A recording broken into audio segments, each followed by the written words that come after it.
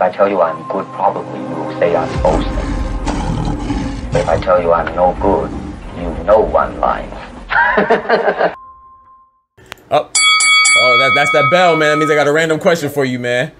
When, when, when is marvelous Marvin Hagler's birthday? This guy's the best His- boxing historian that I know, man. His birthday? Yeah. Uh, I know it's May. It's it's like around May twenty third ish.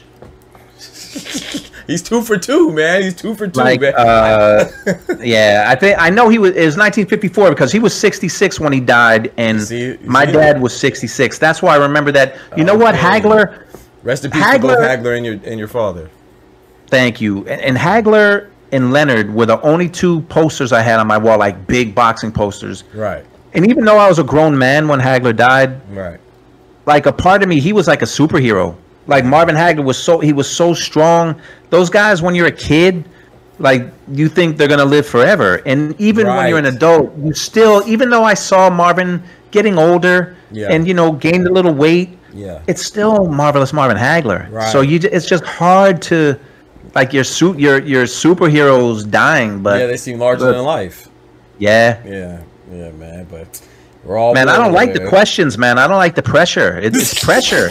I'm gonna Hey, man, sweating. You're passing with shining colors, man. You're doing all right, man. I told you I have faith in you, man. I have faith in you. you know? And it's funny talking boxing, like you said. It's just sometimes some people, if you let them, they'll take the enjoyment out of just having boxing discussions because it's supposed to be fun. Sports debates should be fun. You know, of course, you're gonna get a little passionate because you like this person a little more than you like that person, but it's still supposed to be fun. And you know what I thought was very fun? I thought the sparring sessions going back to ProBox was dope, man. Uh, which I don't know for sure, but I feel like it was your idea. I don't know if it was, but it kind of reminded me of Around the Horn on ESPN, and it's something that I always wanted to implement on my show. So I wanted to know where did it come up? If it was your idea, where did you get the idea from, and who came up with the intriguing topics? I feel like I know the answer. I feel like it's you, but I want you to explain. it, it was uh, like the the the concept of the show it's been around you know so i look up full credit i took i i came up with almost the whole idea the owner of probox said hey why don't we put you in a in a like a refs like a bow tie at first i was Yeah. like no way no shot am i doing that but then we did it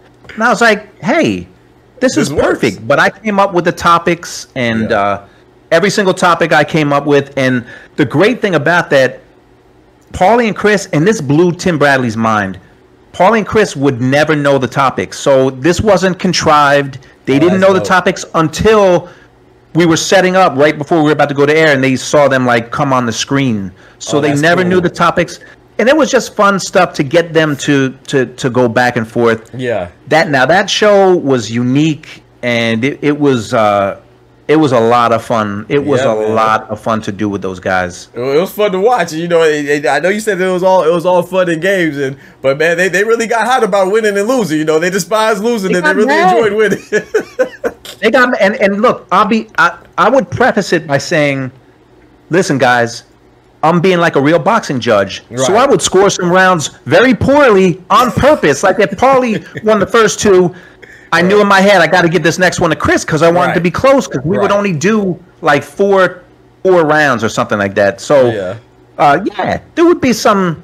Hey, look, one of the judges had Bam Rodriguez losing that fight against Estrada. I was just like a boxing judge It when I was exactly, exactly. It's sometimes the- the shoot- that- you can't. I mean, I know as much as you know. I'm I'm an advocate for for fairness and and accuracy when it comes to judging, but I do also appreciate the human element of it as well. You know, like whether it's boxing, you talk about basketball. It's like, yeah, maybe maybe this referee in basketball might let that foul go, but then there's other referees gonna call it. So or maybe in boxing, maybe this referee may prioritize and appreciate uh, aggression. Maybe this other other judge appreciates uh, accuracy in punches and you know being judicious with your punches, but being effective. And some people might like ring generalship. You know, it, it, it depends. You know, now when they come out with those rules and say, okay, now we focus on effective punching, then it gets kind of questionable. But yeah, some people like certain things. You know, some people like counter punches, some people Yeah. like aggression. So I don't know. But you know what? My point was some boxing judges are bad, so I'm going to be bad too sometimes scoring these rounds. I was just like being honest bad, with them. though. And they would get mad and I'd say, hey, Paulie,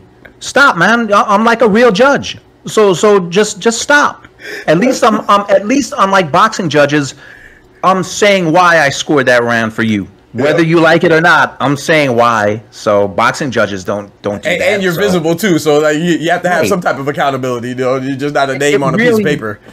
it, it was a unique show and it was a super fun show and we had talked about uh, doing it with like getting tim involved and getting sean involved but it, it never it never got to that point i think tim was tim was a little nervous because he, he couldn't believe that they didn't know the topics that, Right. that they just knew all this stuff like and and and chris and paulie those guys they know they know the sport because the sport is their life now even though they're not fighting right. like it's it's their life. So that show was just man. I still have my bow tie and, and, and my, my shirt. You know, maybe go. come out of retirement one day, but was a lot of fun. A lot of fun. Yeah, I, I enjoy watching. That was actually one of my favorite segments, man. Because like I said, I always always want to implement something like that onto my platform. You know, have, hopefully have you know some some cooler guests. You know, and ha- have them debate a topic, and I'll be like a moderator.